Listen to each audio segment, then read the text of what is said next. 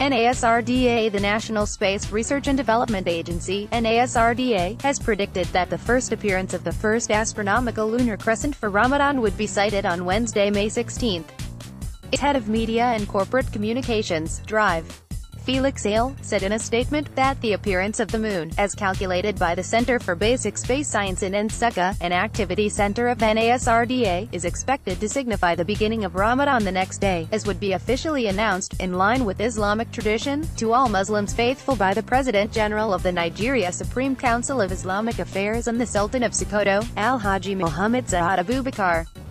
The statement explained that the first conjunction of the moon would occur around 12.48 p.m. on Tuesday, May 15, but would later appear in Nigeria on Wednesday at 12.05 p.m. and can only be viewed with a charged couple device, CCD, an astronomical telescope, or any good optical astronomy instrument.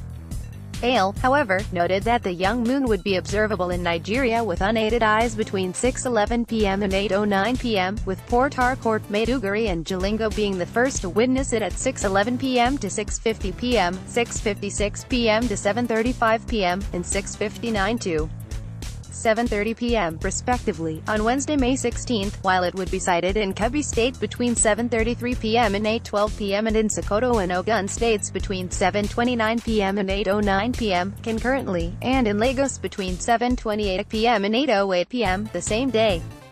He said all other states of the Federation would experience the lunar crescent at an estimated time of 6.11 p.m. and 8.09 p.m. on May 16 the lunar crescent would appear in Abuja between 7.18 p.m. and 7.58 p.m., between 7.15 p.m. and 7.54 p.m. in Kano and 6.55 p.m. to 7.34 p.m. in Katsina, with Enugu and Kaduna experiencing it between 6.39 p.m. and 7.50 p.m. and 6.45 p.m. and 7.57 p.m., respectively.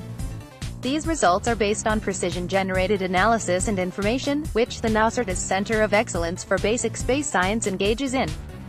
Ale emphasized that details of the calculated results are available for the information of the general public, especially for those who would need them for religious and academic purposes.